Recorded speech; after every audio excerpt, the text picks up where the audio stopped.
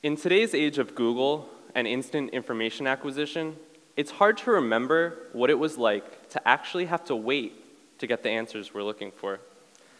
Like decades ago, when investigators couldn't quickly match a fingerprint or DNA found at a crime scene to millions of entries in a database, like they can today with the National Fingerprint and DNA databases.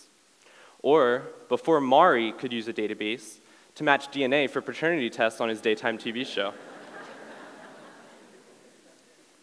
well, in the world of counterfeit documents, currency, and inks, we have existed in that reality, not having a national database for matches.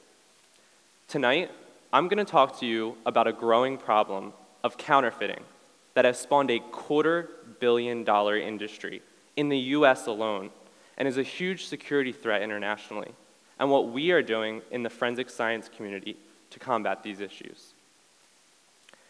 Headlines like these are becoming more and more common, and for as long as I remember, have influenced me to be where I am today. Like most children, I had aspirations as to what I wanted to be when I grew up. Unlike most children, however, I didn't want to be a firefighter, a teacher, or even an athlete. I wanted to be a forensic scientist, and here's my sixth grade bio to prove it. When my parents gave me my first CSI science kit, I doubt they realized that's exactly what I would be doing almost two decades later. Now, I'm sure most people, when you hear the words forensic science, your mind immediately goes to one of the many popular crime TV shows. CSI Miami, anyone? Now, while I don't drive around in a Hummer wearing stylish designer sunglasses, I'm going to show you that forensic chemistry is just as exciting. Now, when I started my PhD three years ago, my advisor was awarded a quarter million dollar grant to develop a protocol for the analysis of inks to produce chemical fingerprints. The goal was to develop a database that could be used in crime labs throughout the country. Now, what does that actually mean? We had to develop a way to obtain chemical fingerprints from inks and create a database that could be used in forensic labs. Now, as a chemist, I was excited to see how the science would develop. And as a forensic scientist, I was excited to be applying that same science to upholding justice and law in society, what I've always seen forensic science as being crucial to. Now, why inks? Well, why would the, the federal government be interested in inks? Besides all of their common uses, inks are used in the production of security documents, like passports and visas, and most significantly, money. Being able to check the authenticity of security documents at borders is a huge issue for the Homeland Security Administration while the production of counterfeit currency threatens our national economy and is of huge interest to the US Secret Service. What makes it even more difficult for the federal government is that you, and therefore criminals as well, have access to tons of printers in your home, at school, in the office, and they can be used in the production of counterfeit documents and currency. Because of this widely accessible printing technology, counterfeiters are producing sophisticated fraudulent documents and currency using readily available inks, and thus the rate and quality of counterfeiting is increasing. Now, we had to develop a way to obtain the chemical fingerprints from inks.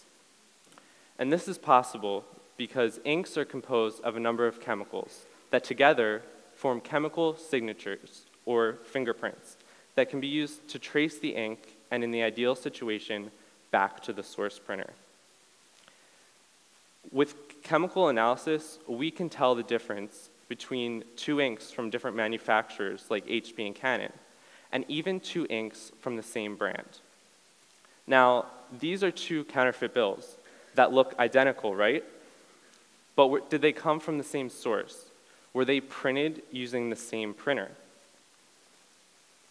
With the chemical fingerprints pictured here, we are able to distinguish inks, those two inks, from different sources. And the tools and instruments that we forensic chemists use in the lab can help us do just that. Here I am in the lab, preparing a bill to be analyzed in real time. The tool I used in the video is called Direct Analysis in Real-Time Mass Spectrometry, or in case you can't remember all that, DART for short. Now, DART is useful because it reveals information on the liquid vehicle component of inks. This is basically the liquid that helps move the ink from the printer cartridge to the paper. DART had previously been applied to the analysis of explosives, drugs, and other items and evidence of interest, but this is the first time that it had been applied to inks on such a large scale. The information that you see here that we got in just seconds is part of that chemical fingerprint that can be used to be entered into the database for comparison and hopefully a match. Now, DART is great because as you saw, it's quick. It allows us to analyze inks directly on paper without destroying the sample or evidence. And most significantly, it allows us to compare inks based on that chemical information obtained that can be used in tracing those inks back to the source. And the best part is that forensic chemists can use this same tool in their labs to enter information into the database. Working with my team, who used other tools, we analyzed hundreds of inks from over 30 brands and currency from 25 different manufacturers to populate the database with thousands of entries. But this is just the start. The beauty of the database is that Forensic labs across the country and even the world can add entries to the database, which will only improve its effectiveness as more people access it. Now, while the entire process doesn't occur in seconds, like CSI would have you to believe, compared to previously existing methods of individually comparing ink by ink, our methods and database allows for a significantly shorter analysis period. After presenting my work to multiple government agencies and actually training them on our methodology, I've come to realize that the demand for this database is huge. Just like every crime lab in the country uses the National Fingerprint Database, AFIS, and the National DNA Database, CODIS, our database has the same potential for ink analysis. For example, most local labs have to, most local police labs have to pass along the analysis of inks to larger federal laboratories, partially due to the lack of a national database. But with our database and protocols, this could soon change. A national database could lead to multiple forensic labs in different geographical locations to work together to increase intelligence for investigative leads.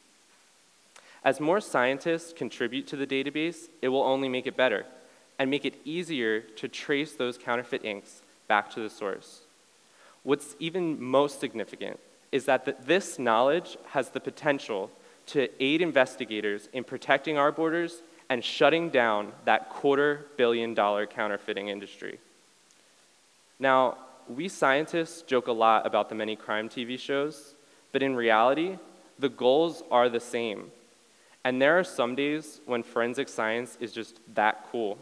And the little kid in me is really excited to be doing what I always dreamt of doing. Thank you.